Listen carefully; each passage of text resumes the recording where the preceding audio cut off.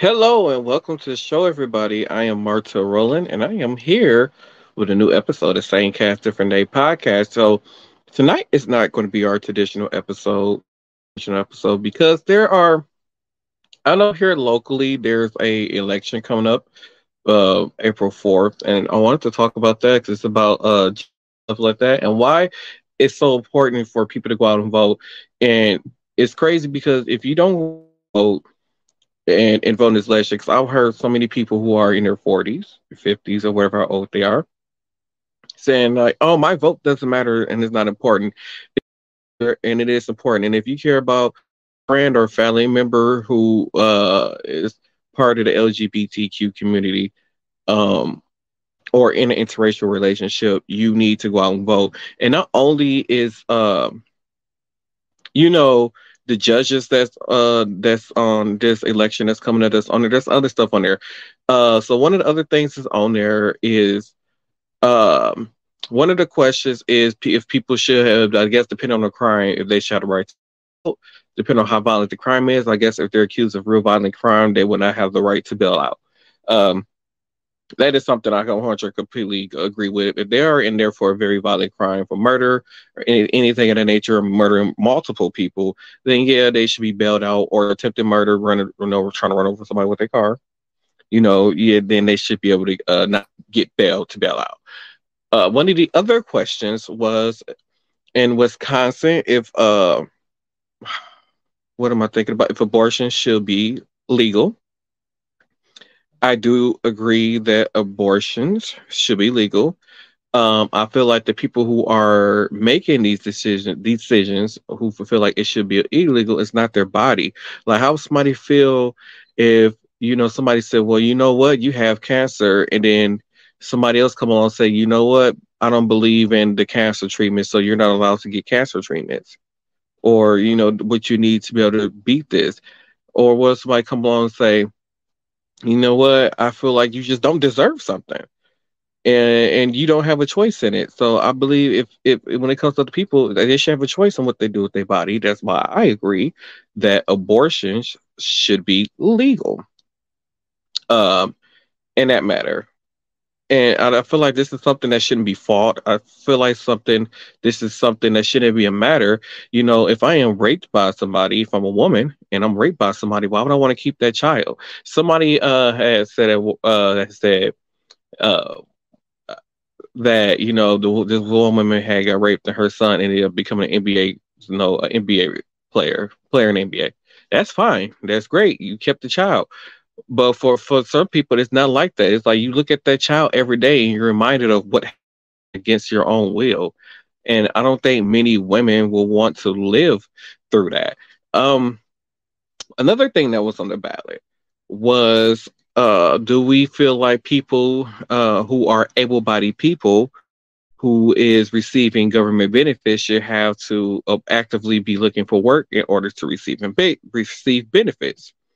This is something I 100% agree with. If you are body person and you're just sitting on your ass, there's no reason why I feel like you should be sitting at home getting government assistance if you're not even trying to make something of yourself or trying to get out the situation that you're in. Uh, then yeah, you should not be able to receive benefits, and you should have to go look for a job, actively be looking for work in order to be receiving benefits. Now, onto the judges.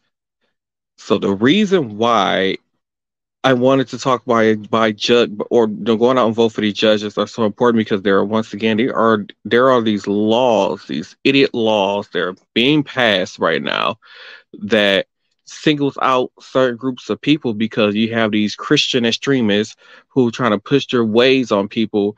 And if you know me, I don't believe the Bible. I don't believe in the Bible. I believe that there is a higher power, but I don't believe what that says. Like the Bible has written so many times, and then certain words has been transferred into the American version or the English version, and certain words, all this kind of stuff. Like I, I just don't, I don't believe in that. Like the Bible to me is just a bunch of fictional stories, like fictional stories that we don't know that really happened, and I just I just can't I just can't see it. Like I just I, I just can't. There's there's the Bible is just full of it's to me it's, it's full of crap to be honest. I mean I don't care how people see it. You can hate me all you want to. That's just how I personally feel. Like and then for people to try to push what's in this man-made Bible because I don't feel like anything in that Bible is the word of God, to be honest because if that was the word of God, then why is these Christians doing everything that's not in there? That they're doing everything that God says not to do, they're doing it. So if this is and they believe in it so much, and and and, and God says this, God says that, and why aren't you following the words of God for real? I mean, be real with yourself. So, like I was saying, it's so important to vote for the judges because there are laws getting passed that's affecting a ton of people. Like to me, America has become one of the places that I feel like no one should and people who from the other countries that look over say think how America is so great. It's not. America does not take care of the people. The government does not take care of the people. The government will let you lay on the street and die, but want you to get up, want you to go and fight this war, protect to protect this land. They just let people just die. They feel, you know, drag queens re- reading to children is is more danger to uh kids than is a more and you know these people able to get guns easily and going in these schools and shooting up the schools or it's, it's all kind of things that that they, they that they can be doing besides singling out a, a certain group of people oh so in Iowa, uh, this was a trap because this is how Roe versus Wade was turned over in the Supreme Court, and they're they're targeting so much uh different stuff to the point it's ridiculous. So they're targeting so much stuff.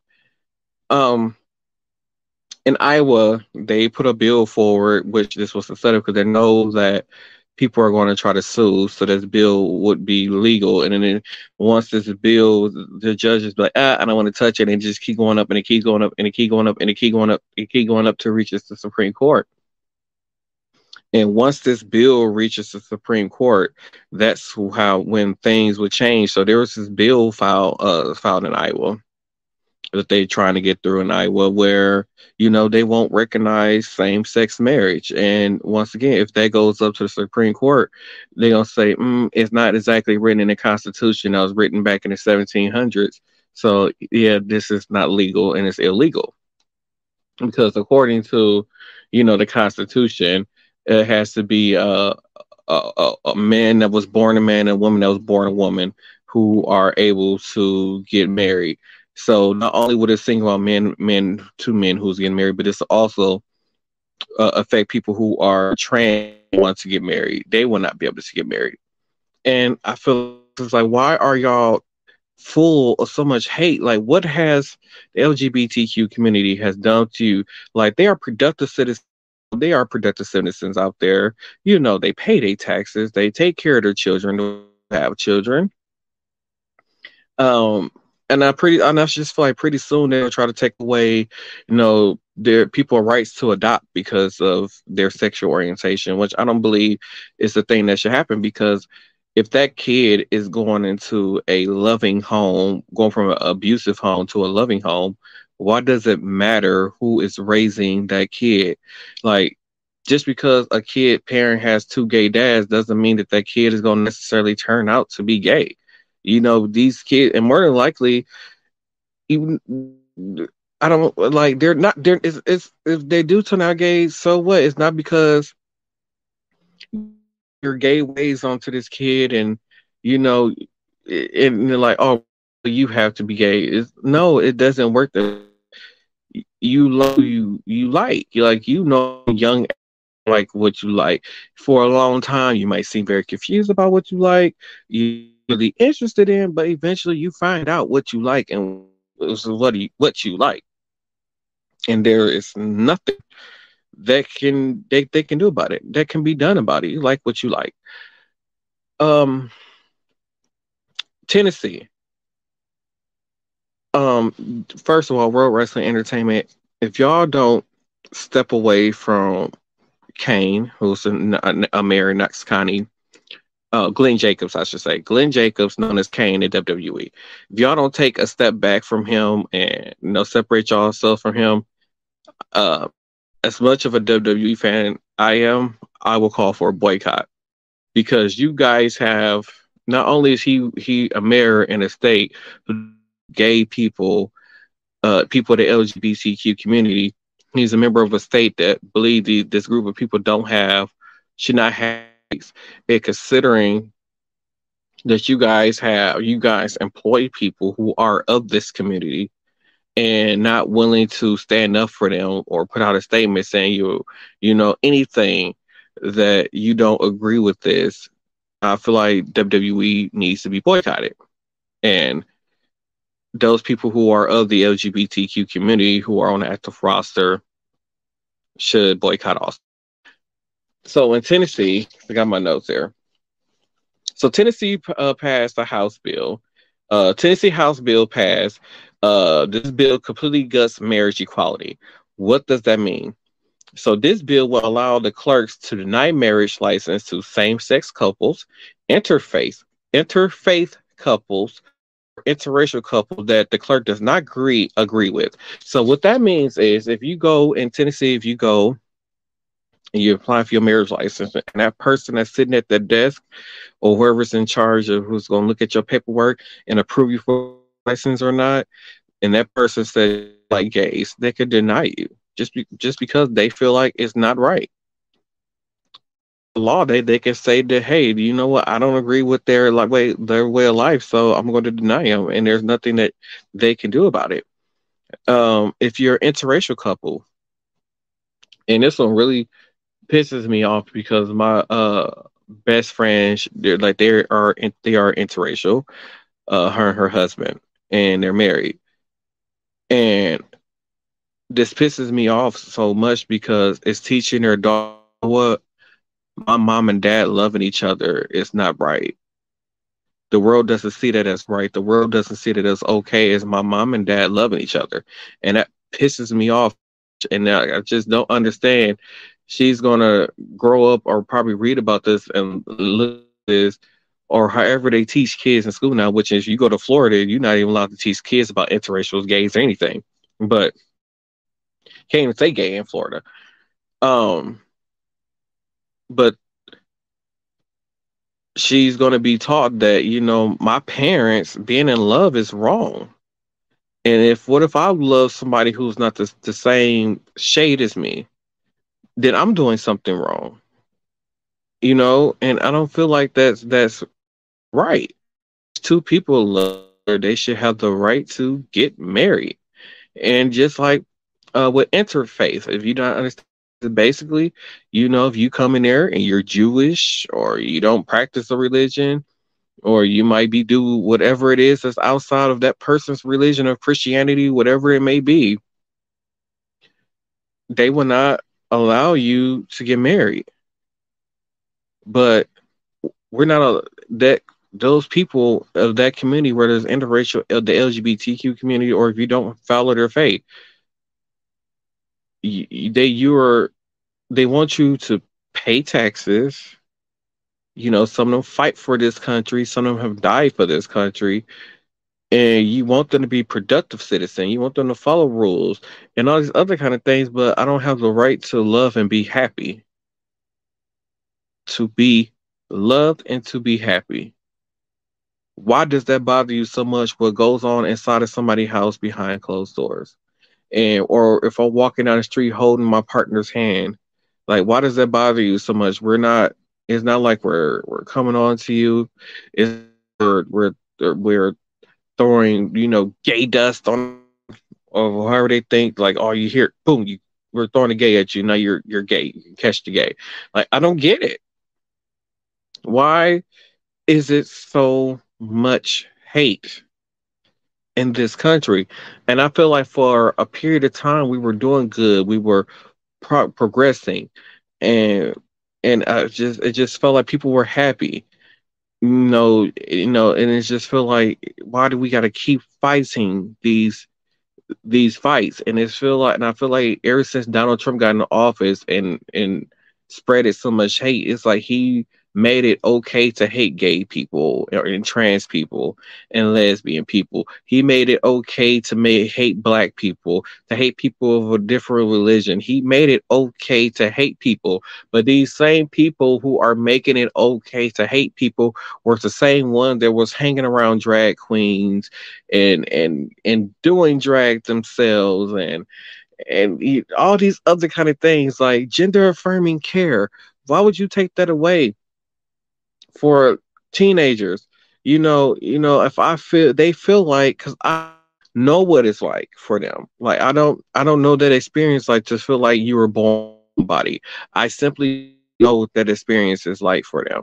So, you know, for them to I guess that thing at age, like, yeah, I feel like I'm a I was I want to become a man Eh, you know, and like I said, they go through and talk to therapists, and they're in the right minds, and they're and they're like, "Yeah, I'm sure this is what I'm going to do." Then let them do it. Why? Why does it bother you that that is something that that child decided they want to do? What's the difference between them doing it as a teenager and doing it as an adult?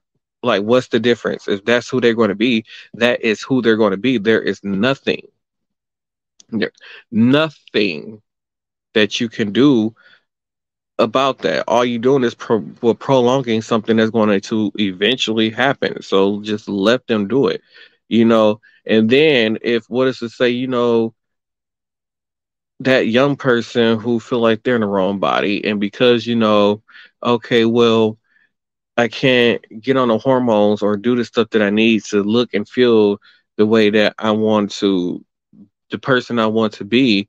So because I wear my hair short and or you know I wear boy clothes and stuff like that. I'm being teased, I'm being mocked, you know, and I feel like kids have it harder nowadays. And some people like, no, these kids are just something like, no, some of them they have it harder. I, I, for our generation, when you were bullied, it stopped at school. Unless you came home to like a horrible household, like bullying stopped at school. But now, due to social media, it's it's it never stops. Once you leave school, you go home, you're on social media, you're being bullied on there. People are talking about you. People are probably tagging you and stuff, commenting, DMing you, saying all these kind of mean and hateful things towards you. You log onto the internet and your way and you're seeing all these people saying your way of life is wrong, the way how you feel, the way how everything, the way you you are wrong so imagine being a 12 11 12 13 14 15 year old however old they are when they start this when they start this process. Imagine being that person and then they end up taking their you know and they're seeing this and they take their own life. Then what? So instead of them letting them become the person who they want to be you rather for them to take their lives. That's not right it is not okay for you to do that or to make them feel like that's an option. And I don't feel like that's an option for them to take them lives, for them to take their lives. Like I don't feel like that. America needs to do better. America I don't know, it's like you know when it's bad when Canada reaches out to the LGBTQ community and saying they're allowing asylum for you, people for people to the community to seek asylum in Canada because it's unsafe for them to live in America, that's how you know things are bad. Like um, normally, America is the place where people come for for safety and to feel and to feel to reach for a dream, to live a good life, you know, to become someone. Now America is just a place of broken dreams where you don't have control over your everyday life. And it's and, it, and these people who were born in the 30s and 40s and 50s and even 60s that's still in office, they need to leave. They need to get out because their way of life is way different from our way of life in 2023. You don't know our way of life. You don't understand our way of life. We don't want to, nobody wants to live like how it was back then. Y'all want to live during a time where women didn't have the right to vote. Black people still had to use separate water fountains. Some places, bubblers, wherever you live at, they say, you know what I mean. Um, when you're drinking water fountain, water fountains, they they want to live in a time where you know black people have to go in through the back door. They want to live in a time where blacks didn't have rights. Blacks didn't mean anything. They might even want to go back to a time where we are working in cotton being whipped. That's what I feel like those people who are in office who were around for John F. Kennedy and all these other presidents, and like I said, in the 30s and the 40s and 50s and 60s, hell, some even in the 70s. No, I'm not going to say 70s, but the, tw- the 30s, 40s, 50s, and 60s. Those are the people who really need to not be allowed to run for office. They need just need to get out of office at this point. They should not have hold a government position. This is why I keep preaching that there should be a cutoff on how long you could be in um in Congress or in the Senate or after a certain time you just can't be in that position after a certain age because you're disconnected from reality. You're disconnected from the people who voted you in. You're disconnected from the world because we don't i don't see what you see. And then i saw a teacher in florida. She was like literally crying. I don't know i wouldn't say crying. I don't know some quit. There's already a teacher shortage in florida. And because of this new law now that they have in florida these teachers have to go through and anything that's like like like flashcards books movies youtube videos you name it everything has to be scanned into the system, and it takes two weeks to hear back and whether or not you can teach this or have this in your class. So it's like, who has time for that? How are you supposed to teach kids? You got to wait two weeks for approval for something. Like these kids, uh, it's just they're not going to have an, an education at all. The students in Florida, and if you are living in Florida and you are in a public schools, I really recommend that you guys pack up and go to another state because that government there is so totally fucked up. It really is. Things need to change.